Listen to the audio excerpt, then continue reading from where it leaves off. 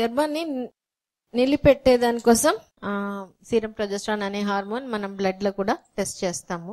So టెస్ట్లో అందుకనే blood అండం విడుదలైన తర్వాత అందుకనే ఫాలిక్యులర్ స్టడీ చేసిన తర్వాత సీరం ప్రొజెస్ట్రాన్ టెస్ట్ చేస్తాం.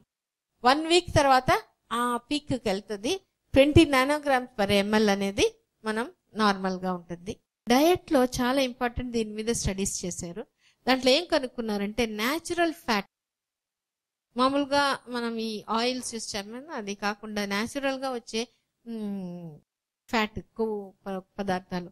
అది మెయిన్ ఏంటంటే వెన్న తీని పాలు. మామూలుగా మనం మిగిలినది ఆయిల్ తగ్గించినా కూడా ఇవి స్పెసిఫిక్గా ముఖ్యంగా హార్మోన్స్కి సీరం ప్రొజెస్ట్రాన్కి ఇది యూస్ అవుతుంది. వెన్న తీన పాలు నెయ్యి అవన్నీ కొద్ది కొద్దిగా నెయ్యి ఒక స్పూన్ తీసుకున్నా చాలు. తర్వాత పచ్చి కొబ్బరి కొబ్బరి నూనె. ఎగ్ ఎల్లో ఏదంటే ఇవి దీంట్లో ఉండే ఫ్యాట్ అంతా గుడ్ ఫ్యాట్ ఎందుకంటే కొలెస్ట్రాల్ ప్రొడక్షన్కి క్వాలిటీ రెండిటికి ఇది చాలా మనకి అవసరం అనమాట ఎగ్ ఎల్లో వేసిన పప్పు బాదం పప్పు అవిసి విత్తనాలు సన్ఫ్లవర్ సీడ్స్ ఇవి అన్నీ మనకి న్యాచురల్ ఫ్యాట్ అన్నమాట. సో ఇది కూడా మనం దీంతో పాటు చామగడ్డ తర్వాత అరటి పువ్వు ఇవి చేసుకోవడం అనేది చాలా యూస్ఫుల్గా అంటే ప్రొజెస్ట్రాన్ ఇంప్రూవ్మెంట్కి. దాంతో పాటే మనం మెడిసిన్స్ పెడతాం. ఈ ఎగ్ డెవలప్మెంట్ కోసమే మనం ఇప్పుడు మెడిసిన్ పెడతాం. అది హెల్ప్ చేస్తుంది.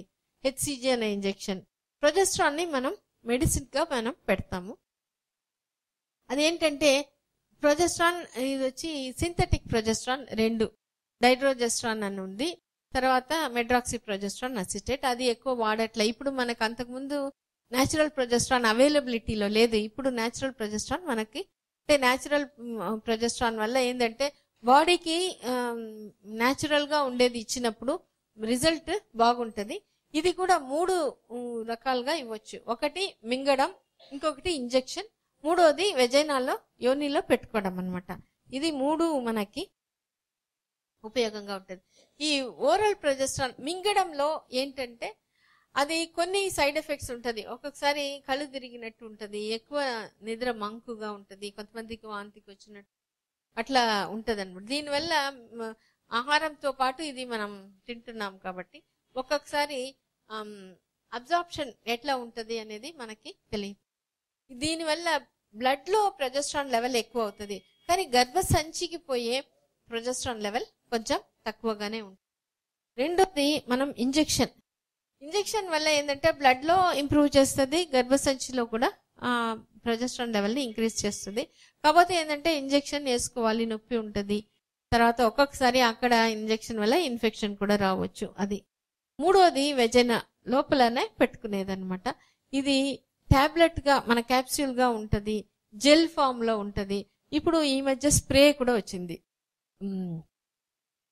ఇది ఏంటంటే ఈ వెజన రూట్లో పెట్టడం వల్ల ఏమవుతుంది? డైరెక్ట్గా గర్భసంచికే అది పోతుంది బాగా మనం తీసుకోవాల్సిందంటే గర్భసంచిలో ఆ రిసెప్టార్ దగ్గర మనకి ఇది పోయి పనిచేయాలి. అందుకనే ఎండ్ గ- గర్భసంచి లెవెల్లో ఎండ్ మనం ప్రొజెస్ట్రాన్ ఎక్కువ ఉండడం మనకి చాలా అవసరం.